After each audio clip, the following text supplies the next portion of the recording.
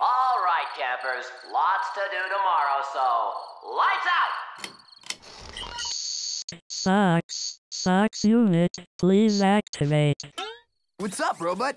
Oh, Socks, that was most embarrassing. Now it is certain that Shannon doesn't like me. No, it's just first day jitters. Tomorrow you can impress her with your rugged outdoor charms. I'm afraid I wasn't programmed for rugged outdoor charms. Hey, cut the chatter in there.